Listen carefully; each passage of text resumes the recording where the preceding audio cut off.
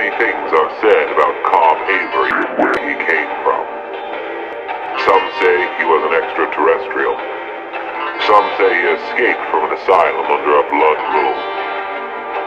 Some say he was a demon baptized in the fire. Some say he was just a man. They're all wrong. Prepare yourself for the true story.